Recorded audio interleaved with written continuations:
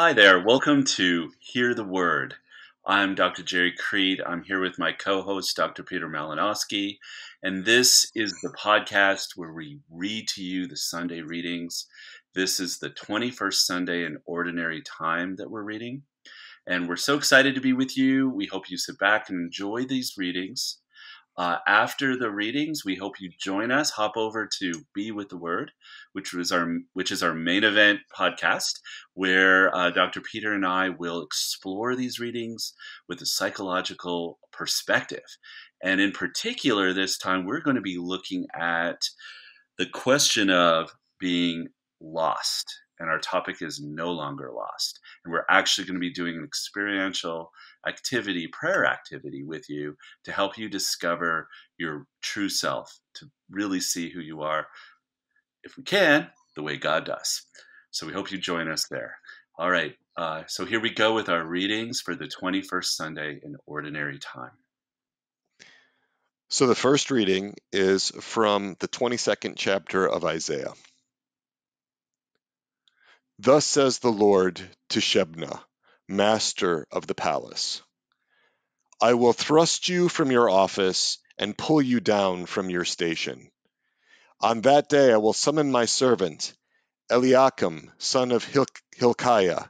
I will clothe him with your robe, gird him with your sash, and give over to him your authority. He shall be a father to the inhabitants of Jerusalem and to the house of Judah I will place the key of the house of David on Eliakim's shoulder. When he opens, no one shall shut. When he shuts, no one shall open. I will fix him like a peg in a sure spot, to be a place of honor for his family. The responsorial psalm Lord, your love is eternal. Do not forsake the work of your hands. Lord, your love is eternal. Do not forsake the work of your hands.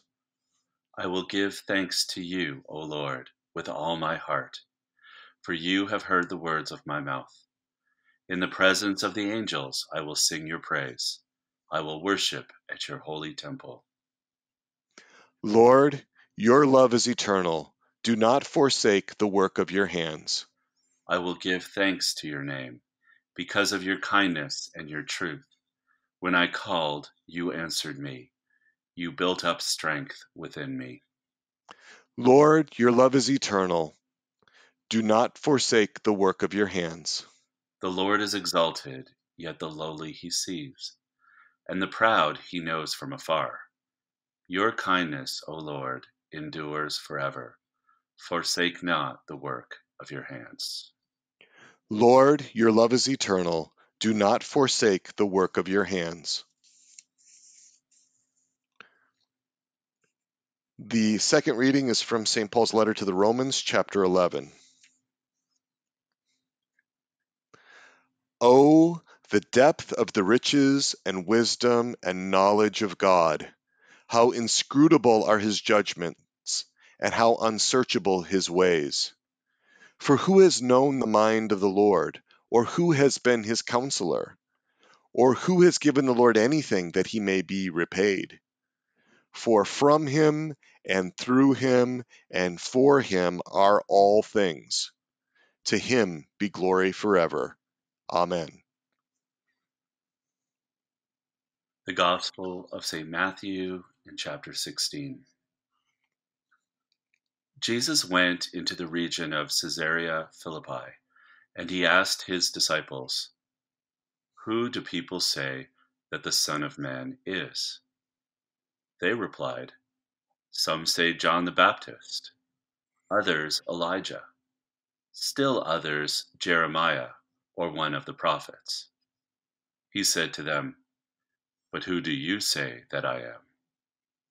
Simon Peter said in reply, you are the Christ, the Son of the living God.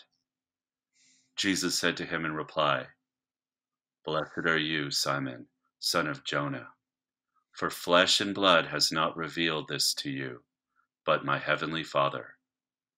And so I say to you, you are Peter, and upon this rock I will build my church. And the gates of the netherworld shall not prevail against it.